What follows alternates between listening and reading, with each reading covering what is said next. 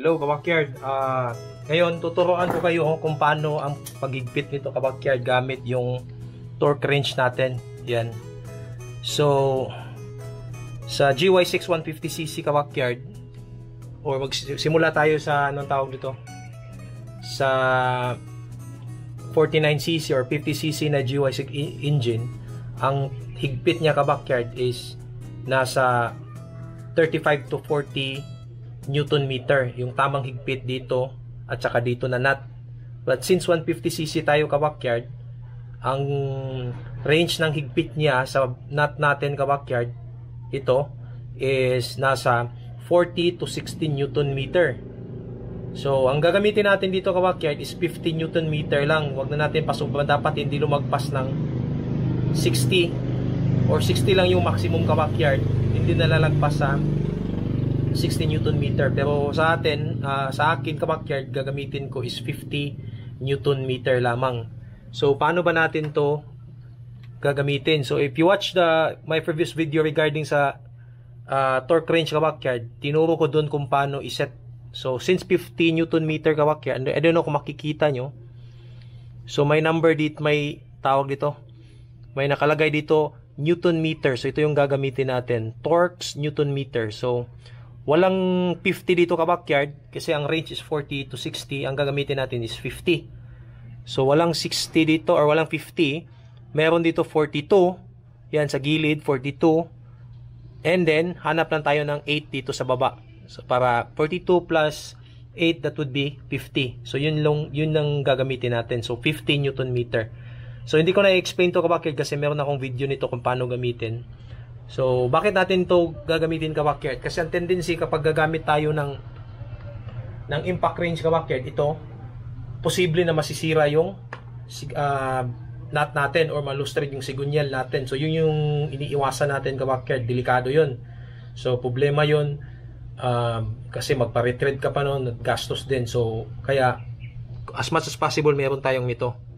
So, torque wrench ang tawag nito kabakyard. Uh, hindi ako expert nito but nag-follow lang din ako sa mga guidelines kawakyard. Kung natatanong kayo kung saan ko nakuha yung uh, uh, information regarding sa Newton meter ng GY6 150cc, uh, ilalagay ko yung link kawakyard, nandun lahat yung GY6 na website.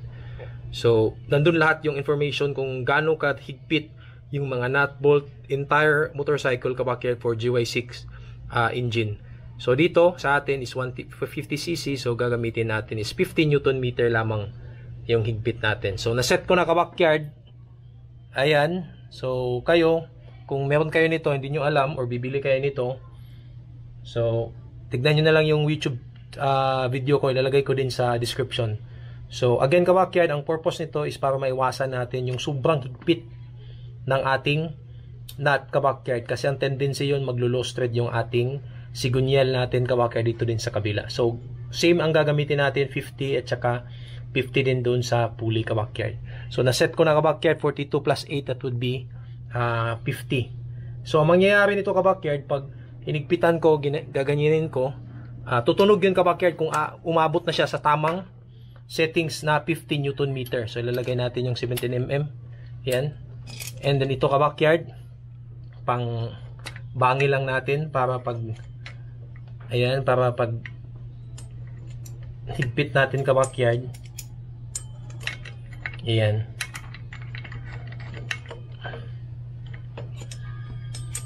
Ma may kukontra ka backyard kumbaga.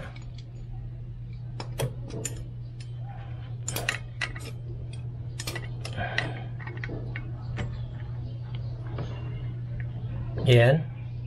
So, iwan ko lang kung gaano, yung, paano nyo ilagay. Basta ganyan lang akin ka backyard.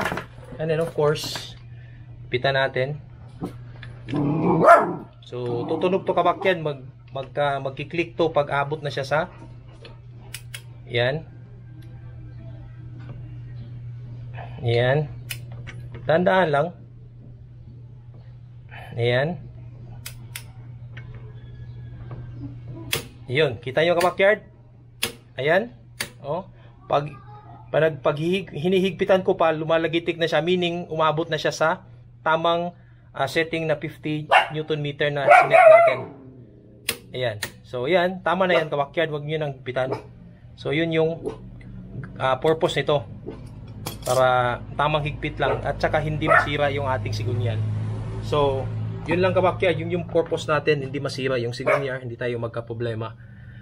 Kasi, uh, I notice madaming nasisiraan ng Sigunyal Kabakyard, lost thread daw sa group natin. Of course, kasi yung gamit nila is impact range. Okay naman yung impact range, pero uh, delikado talaga Kabakyard pag pag ano tawag nito, pag sumablay kayo at nahigpitan nyo masyado. Kasi dadapa yung thread Kabakyard eh. Yun yung cause ng lost thread natin Kabakyard. So, yun yung magiging uh, problema. Alright, so ganun lang, 50 tapos dito din 50 din Kabakyard. So, ang paghigpit dito.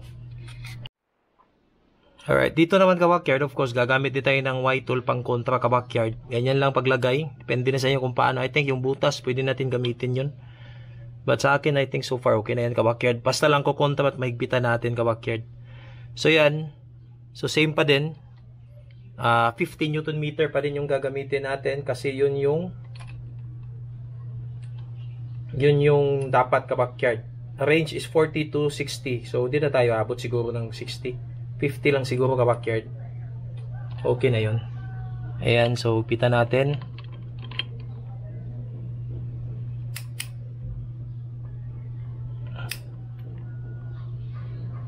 Ayun yun ka backyard pansin nyo. Ayan so meaning umabot na siya ng ah, 50 uh, newton meter yung higpit natin. So yun lang yun lang yung higpit na gagamitin natin ka backyard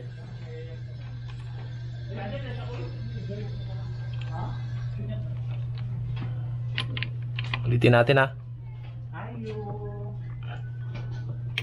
Ayan, so tama na. So ganun lang kahigpit ka backyard. So ganun lang ka backyard ha. Yan. So far so good. So pita na natin. So ganun lang.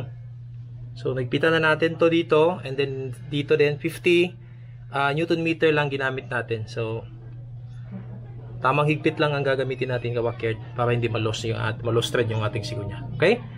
So, ganyan lang kabakyard and thank you for watching. See you in the next video.